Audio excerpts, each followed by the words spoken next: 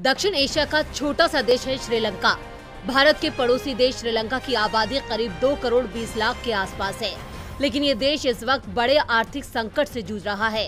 यहाँ लोगों को एक कप चाय के लिए सौ रुपए चुकाने पड़ रहे हैं तो वहीं चावल पाँच सौ रुपए किलो बिक रहा है।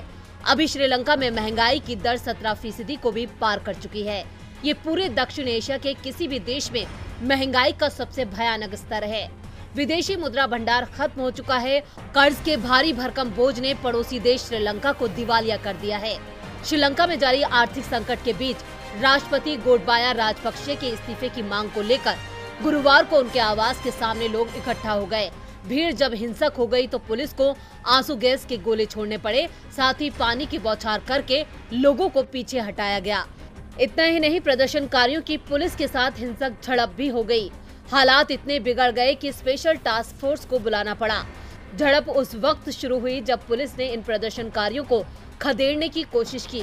लोगों ने भी पुलिस पर पत्थर फेंकने शुरू कर दिए। इसके बाद पुलिस ने लाठी चार्ज कर दिया।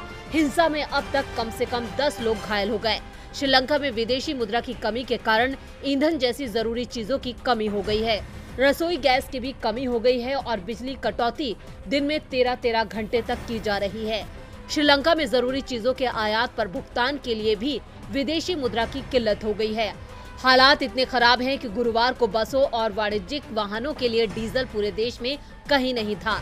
अधिकारियों और मीडिया रिपोर्टों के मुताबिक देश में सार्वजनिक परिवहन पंगु बन गया है। आर्थिक संकट से जूझ रहे श्रीलंका के लिए भारत ने एक बार फिर हाथ आगे बढ़ाया है और हर संभव मदद का वादा किया है। लेकिन इस बीच चीन ने श्रीलंका को दगा दे दिया है। भारत की मदद के आश्वासन के बाद उम्मीद की जा रही है, दोनों पड़ोसी देशों के रिश्तों में फिर से सुधार आ सकता है। लेकिन फ़िलहाल भारत की मदद के साथ साथ श्रीलंका को और देशों से भी मदद की